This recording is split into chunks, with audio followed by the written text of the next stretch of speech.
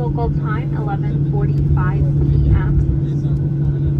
Please remain seated with your seatbelt fastened until the seatbelt sign has been turned off and keep the aisle clear of all carry-on items.